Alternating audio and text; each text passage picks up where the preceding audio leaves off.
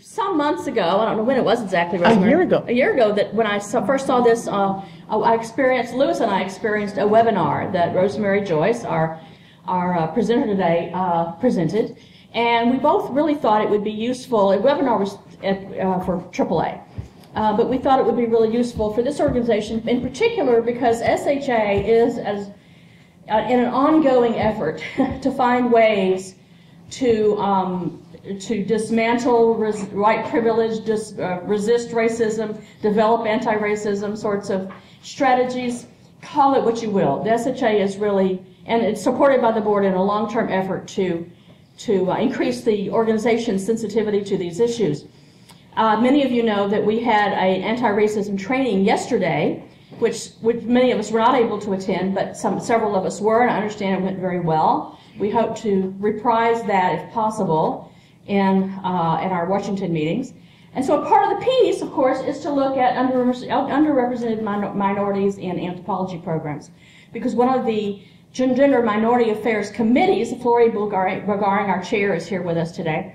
Um, the, that committee of the SHA is very, very invested in finding strategies to accomplish these goals. But it is a long-term effort, and it takes a lot of work, and it takes a lot of reflection, and, uh, and a lot of financial commitment. Um, I'm going to publicly thank Chris Fennell for making the, uh, the training yesterday possible, for finding funding for that which we would not have been able to do if he had not located funding. So it takes, um, as Hillary says, it takes a village, or someone said that.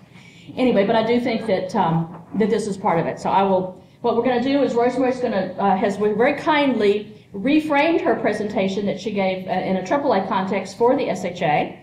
Um, and uh, we will then just discuss and exchange some ideas. We anticipate something very casual. We do have panelists that are going to speak briefly to who they are and how they intersect with these issues, very briefly. And then, regardless of how large the room, the, uh, the attendance is, we want to have it be open discussion. Okay? So, without further ado, Rosemary yeah. Joyce, thank you. Thank you.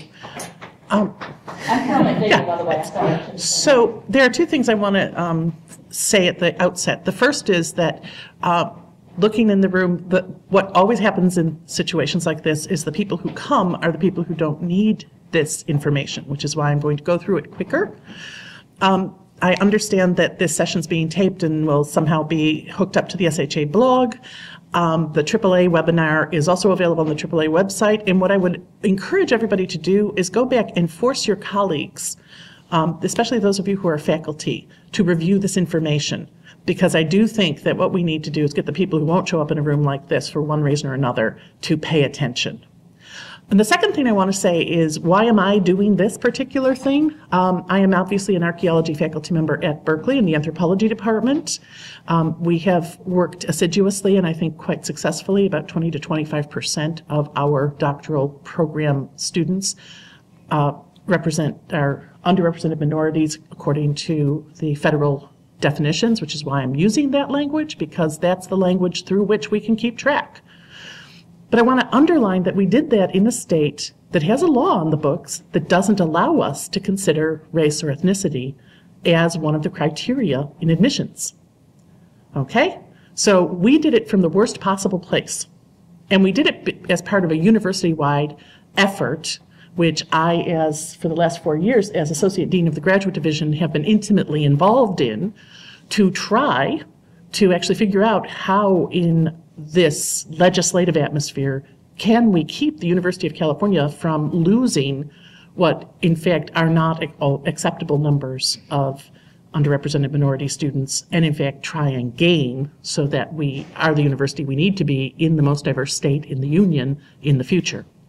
So that's sort of why this is on my mind or why this is even an issue that I think I have some, some uh, basis to talk about. And it isn't rocket science.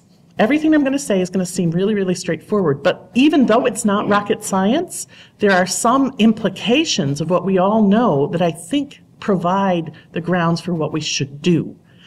Um, in addition to the webinar, I was part at the last AAA of a session that was uh, talking about how do we actually solve these problems. And it was astonishing how many people didn't know about some of the things I'll talk about. So there'll become a point where I'll ask you if you've ever heard about certain programs.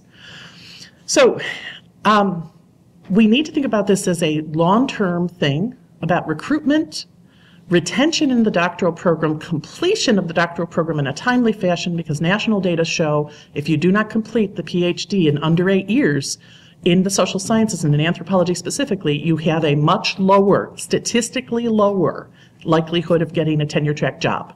Now, there are plenty of multiple careers that especially that archaeologists go into, but we will not change the academy if we do not get those students who are underrepresented minorities completed in a timely fashion so that hiring committees cannot discriminate against them on the basis of their time to degree. That's a really important point. Um, we also need to think, although this particular webinar doesn't go into it, about that transition point after the PhD. Uh, Berkeley, the graduate division at Berkeley, did a 40 year retrospective uh, alumni survey looking at careers, and I and my program have now replicated this for the archaeology program at Berkeley going back 20 years since I came there 20 years ago. And both of those surveys, both the survey and my data show that it is normative now in anthropological archaeology to have a period of continuing apprenticeship of two to three years after obtaining the PhD before most people, 80% of the people who get uh, in tenure track jobs start out first with two or three years of something else. And so it's incumbent on us in this pipeline to think about how to get people through that apprenticeship period so they don't fall off the pipeline. How do you make certain that during those two to three years, people are improving their profile for hiring, publishing, doing some teaching? And that might be using adjunct lecturing opportunities in a mindful fashion. That might be helping somebody get a non academic job that isn't so impoverishing that they can still, on the weekend, finish that article. But we can't just say, you got your PhD, that's fine, because that's another place that we're losing our diversity. So, we need to develop a pipeline to graduate education. To get students in, we need to practice what we call comprehensive admissions review at Berkeley. And we need to establish clear benchmarks of progress for our students so that they finish in a timely fashion. And those are not things that universally are being done well in the US.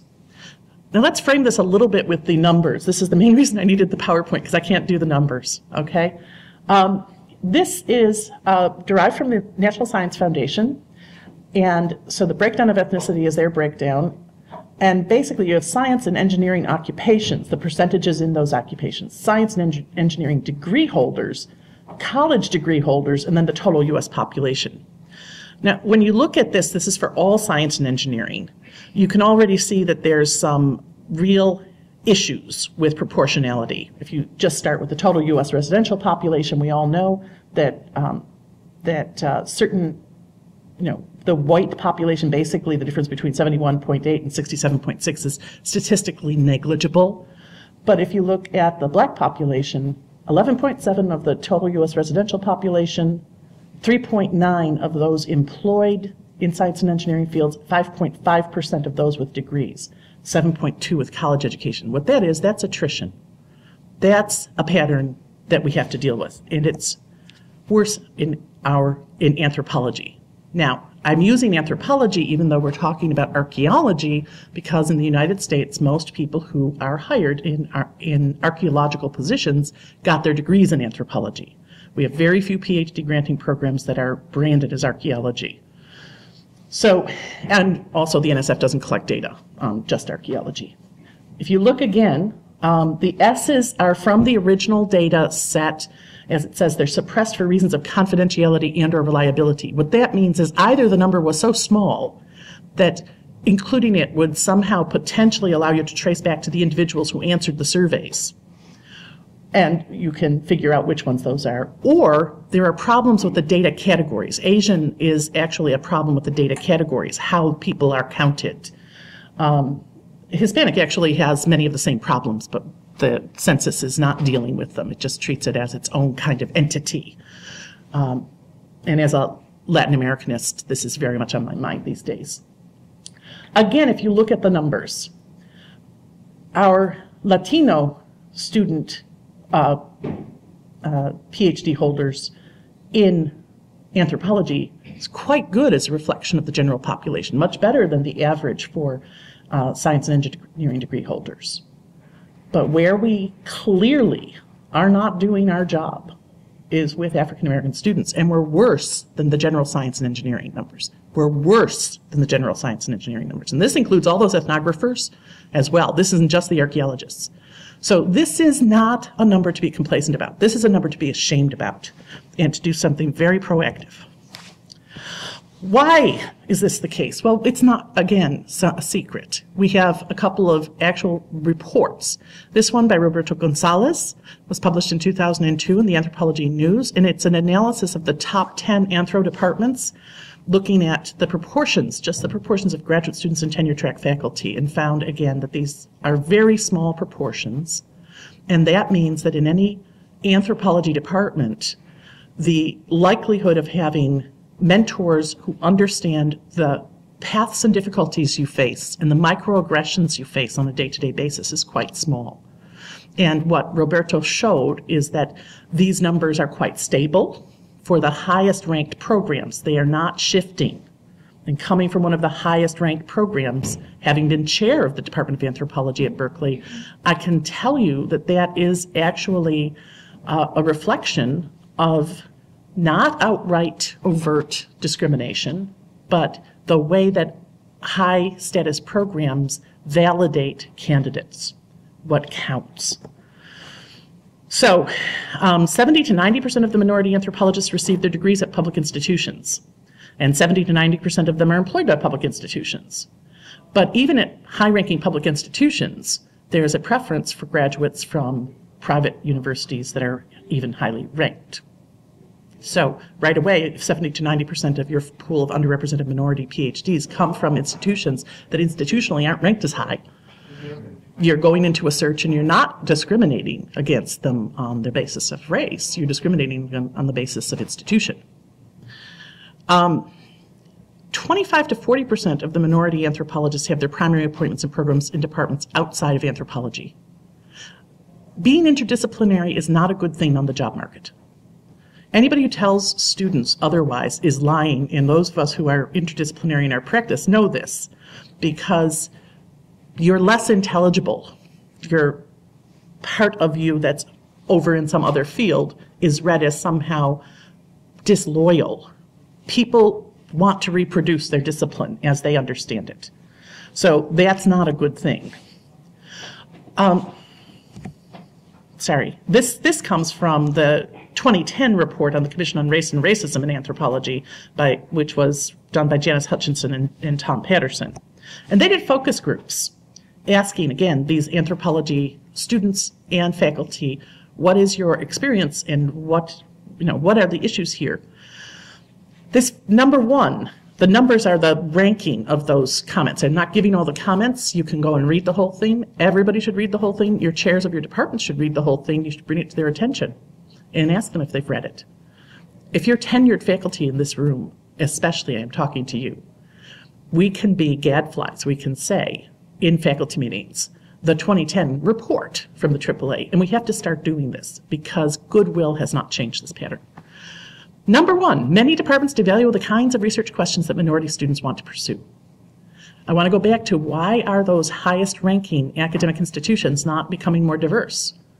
if you have a preference for theory over practice, if you have a preference for um, French theory over the application or community engaged scholarship that is increasingly critical to anybody who works with descendant communities of any kind, then you are likely to read somebody's um, vitae who has invested a significant amount of work in working with descendant communities and working with the communities that they're part of as not scholarly in the way that high ranking departments valorize.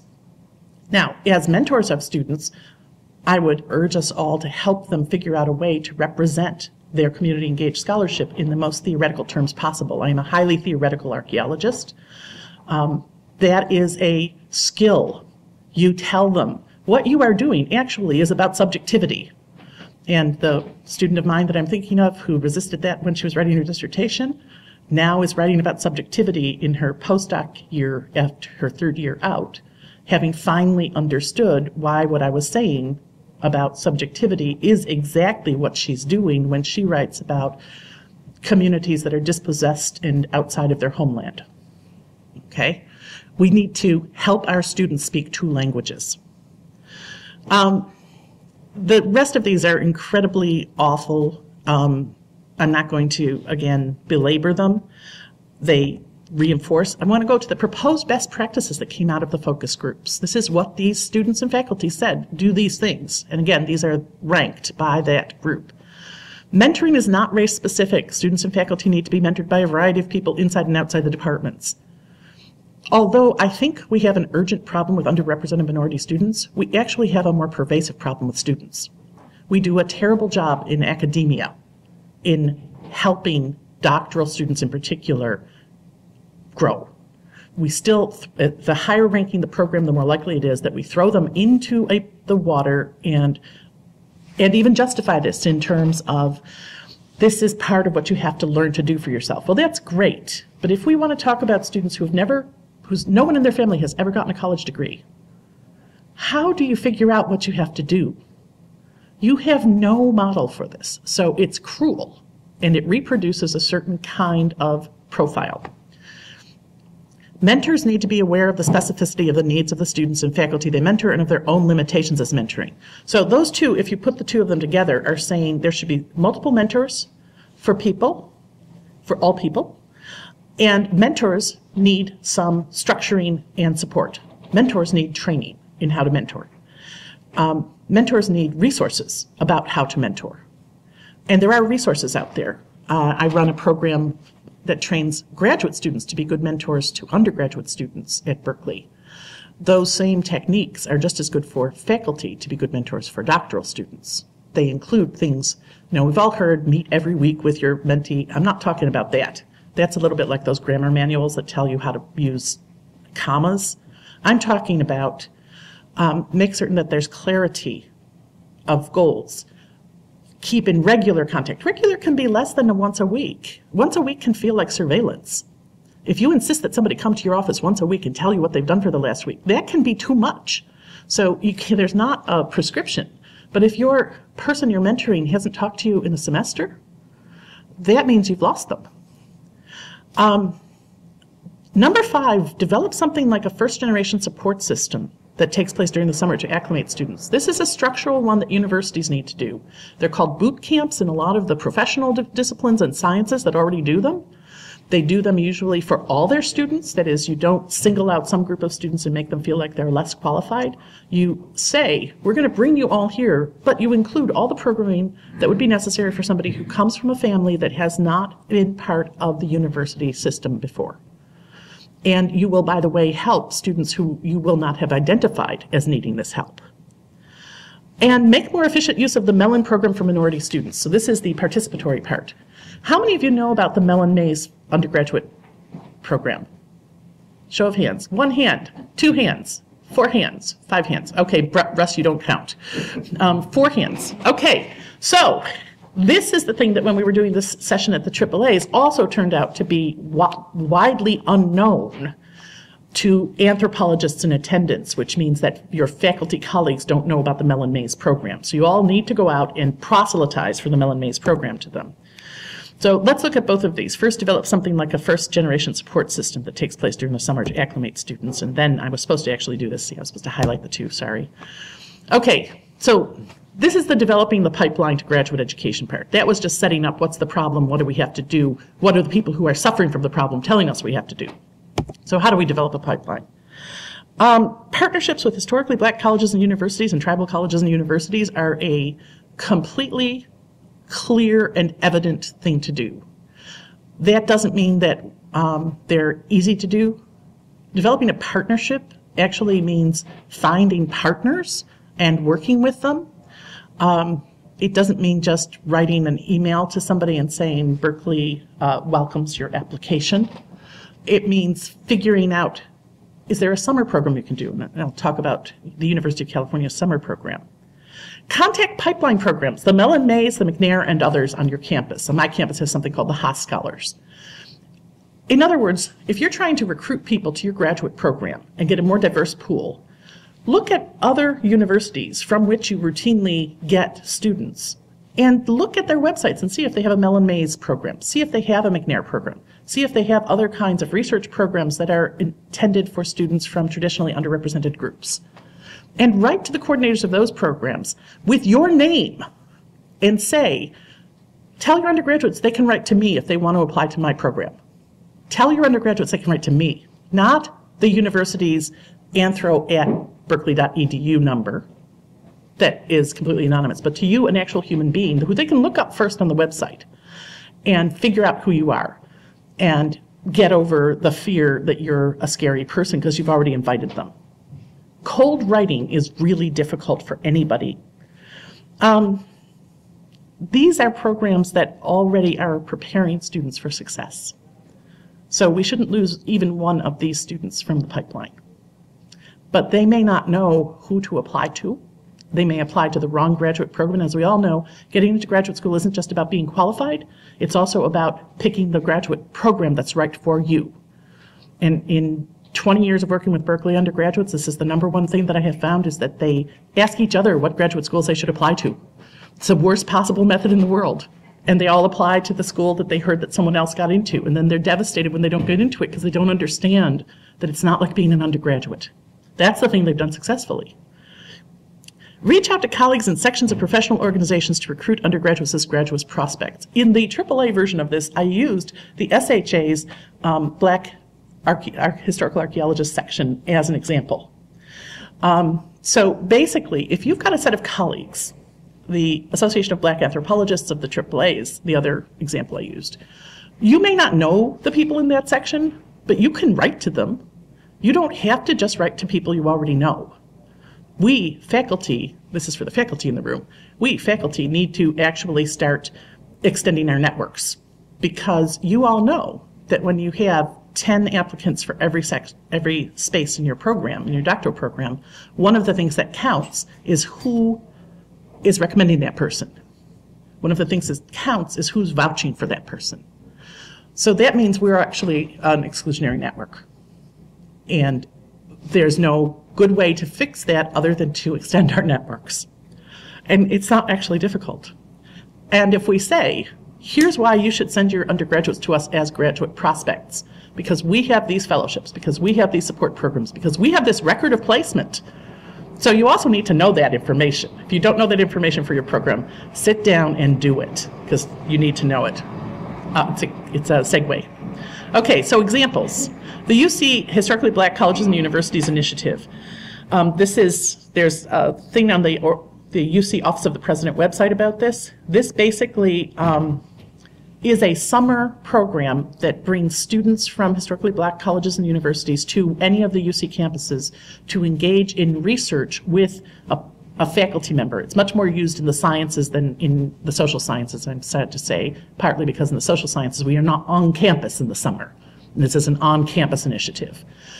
So I couldn't, for example, ask somebody, ask the university for funding to bring somebody and take them to Mexico with me. That is illegal. They'd have to stay on campus. My, my field site now is in Mexico, so. But you can try and work up, work with your university for similar kinds of programs that would allow you to engage. And some of us, our field site is in in our own state, I, especially in historical archaeology. You're all, I, I, am a member of the SHA, but I don't work in North America. I should have said that. I shouldn't take for, for granted that you know who I am. Um, the Mellon Mays Undergraduate Fellowship Program is the example of the pipeline program I wanted to use. And again, you should become familiar with it if you're not. Just go to the Mellon Mays, just Google it. You can find that very long um, uh, www.mmuf.org will get you there. This is a fabulous program in terms of the fact that it supports students as undergraduates, and then when they're graduates, they are part of the, they, they continue to have some support, including travel money, and they become engaged. They're actually working even harder now to engage the graduate students who were undergraduates in the program as mentors of undergraduates and they're trying to put together an alumni network. So this, one of the problems that underrepresented minority students often have in majority departments is there's not enough other students to form a community or a cohort. This is a cohort and it exists at your university already. It crosses interdisciplines. And as an alumni network, the people who are anthropology PhD candidates who came out of the Mellon Mays program can form a support network for each other. So this, this program, this one program, I think, if we just began actually working productively, proactively with it, not just sitting there and waiting until somebody calls us up and says, so we have a Mellon Mays undergraduate, would you be their mentor? Which is how I first learned about the program. Um, the, um, the coordinator of the program called me and said, we have this undergraduate and he's interested in this stuff and he proposed somebody else as a mentor, but that doesn't seem like a good mix because what he wants to do is what you do. Because as an undergraduate, as a, a beginning undergraduate, he didn't know where in the university to find somebody who did what he did. Um, okay, comprehensive admissions review. I promise this would be short. It turns out it's not as short as it should be. I will try, but these are very important things. Comprehensive review. When you review people's applications, the number one thing is not to use the GREs to screen people out. Don't use the GREs at all if you can, if you can manage it. The GREs are a cultural test, a test of cultural capital we, the physics department at Berkeley has done an amazing study, unlike anything else, where they looked at all the students that they had had come into their program over a long period of time and their subsequent career outcomes, including like Nobel Prizes, and have statistically determined that there is no correlation between the GREs and what happens in your life as a graduate student or postgraduate. Physics, that's physics. How much more so in a social science, right? Pay attention to patterns of improvement in undergraduate achievement, not just the final GPA. Even switching to the GPA can screen out people you want. I have had students as undergraduates at Berkeley who in their first two years tanked because they were from families where they were working 40 hours a week and sending money back to the family because the family couldn't afford not to have their work, not to have their labor. And it was only after they stopped doing that that they were able to put their effort into their, um, their studies those first two years on the GPA, pull the GPA down enough. You have to look at the pattern. You have to look at people's transcripts and look at the pattern across the four years. You should do this for all students anyway. But you really can't just screen people from these numerical indices. And look for applicants who have participated in pipeline programs because the pipeline programs prepare them for the motive, the independent research process for meeting deadlines. They give them some of the cultural capital so they give them a little bit more of an edge, a little bit more of fingers on the ledge. If you want to introduce the idea of comprehensive evaluation of applicants to your university or just your faculty, you can say that Berkeley has been doing this for years. And we have posted on our website the memo that goes out, co-signed by the, the Dean of the Graduate Division and the Vice Chancellor for Equity and Inclusion every year that compliments, commends departments that have updated their graduate admissions procedures in this direction and basically lays out why not to do this. The GRE board itself endorses comprehensive review. If you've got people in your department who say, well, the GREs are really important for some reason, lots of people like this number. Test scores should always be used along with other sources of information such as course grades, blah, blah, blah, blah, blah. That's the college board, and they have a financial incentive in, in your continuing to use the GREs. One of the things that I have found successful as a micro practice is to say to people, don't use the GREs to, to rule people out. Look at everything else first. And then you can look at the GRE as supporting your opinion that you've already formed in a more holistic way, if you're going to be a GRE person at all. You can look at it that way. And then I argue against using it at all one on one. But that's, you know, you can you can change this culture. It is possible to change it. And finally, so you've gotten these students in because you've actually changed all of this process. You've set up some sort of pipeline. You've actually reached out to people you didn't know before and asked them to refer their students to you personally so you can help them, uh, coach them on how to write an essay to get into your program. Establish clear benchmarks for progress. This is something that um, we, again, comes out of the idea that we need to keep students progressing in a timely fashion so they get their degree within the statistically um, established number of years that goes along with getting into tenure track jobs.